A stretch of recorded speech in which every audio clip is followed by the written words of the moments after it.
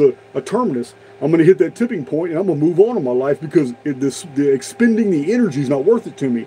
And that is what we're talking about tonight because that is exactly why dungeon programming exists.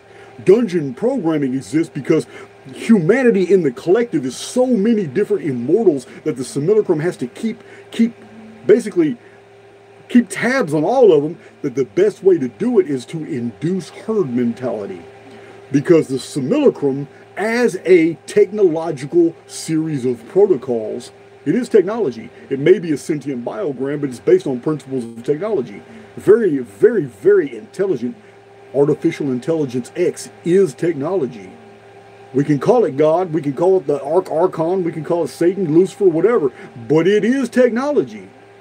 It's just so far advanced that to us it appears as divinity. But it still must obey the law of conservation of energy. It must. And that's why dungeon programming exists. Because it would take an infinitude of energy to keep up with 7 billion immortals that are all doing their own thing.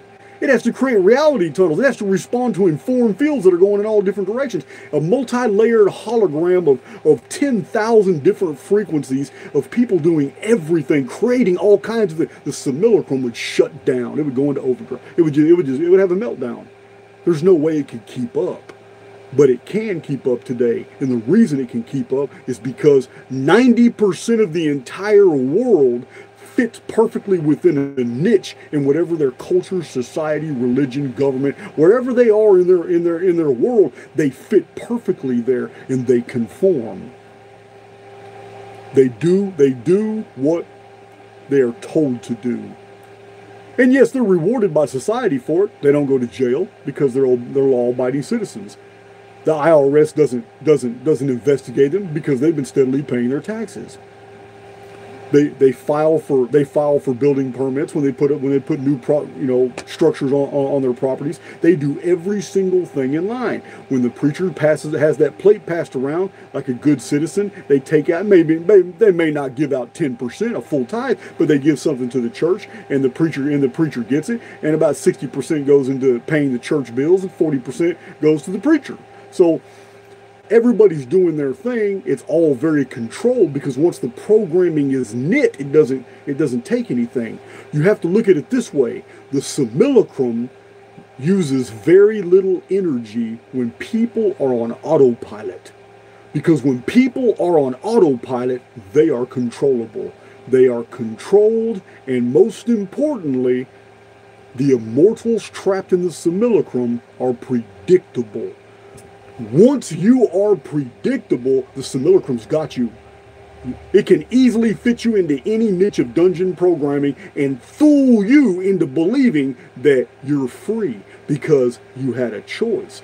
But if the simulacrum gives you the choice of being a Hindu, it gives you the choice of being uh, uh, a Taoist, gives you uh, the choice of being a Southern Baptist, gives you the choice of being a student of the Gnosis, gives you a choice of being a Buddhist, and you take one of those choices, was it really freedom to take something that was provided before you?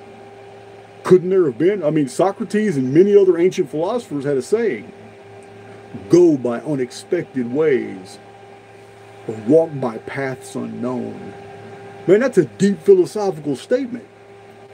But it's not a popular one because the simulacrum's been trying to edit out that behavior for a very long time.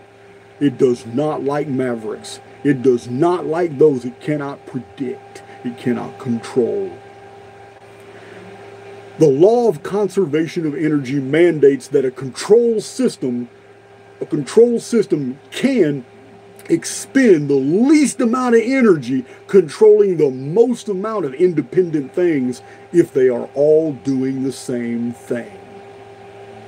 This is dungeon programming.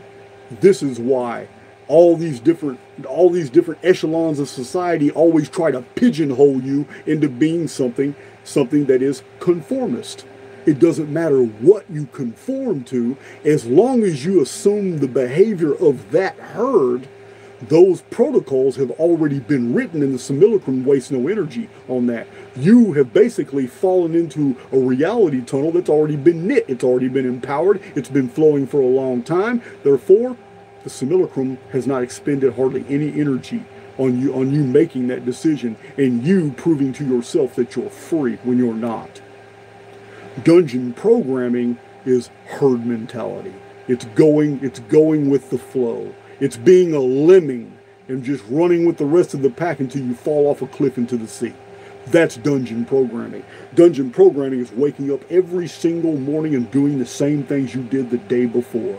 No variety whatsoever. The simulacrum does not fear you if that if that is your itinerary on a daily basis. The simulacrum doesn't fear anything you know, anything that you share with other people, or anything, because what you do is a language that this coding reacts to, not what you say. This is what this was the point of my prior video. There is nothing that comes out of a man's mouth that is important or a threat to the simulacrum. Additionally, there is nothing that comes out of a man's mouth that can benefit a man or a woman. And there's nothing the divine, the oversoul, will respond to verbally. It won't. All that does is create an informed field. But once an informed field is created, it's like, wait, now the entire multiverse is, they're watching. All eyes are on you. You just created an informed field. Why is that important? Because the simulacrum knows that within it are co-creators. Every single awakened immortal within the simulacrum that understands its, its co-creation, creative capacity, and understands that it can create it can create forms out of thought, is a threat. Must be herded into into a uh, must be corralled into some type of herd. This is why when someone begins to awaken, when someone begins to detach themselves from the mental constructs that are assumed by the herds around them, this is why you go through negative default programming episodes. This is why negative things begin to happen to you, things that are out, out of sync, uh, not just in the physical world, but even emotionally. This is when you become uh, separation anxiety is a lot of people feel the same. I did. I did for a while. You go through the separation anxiety deal, and you don't even know what you're separated from. You just feel it. The simulacrum is going to try hard to get you through fear and emotion to get back into the herd. And as soon as you conform, all of a sudden good things start happening for you. As soon as you are not costing it all this extra energy, because it is, it is, it costs the simulacrum a lot to try to knit new reality tunnels to try to predict what your next move is. Because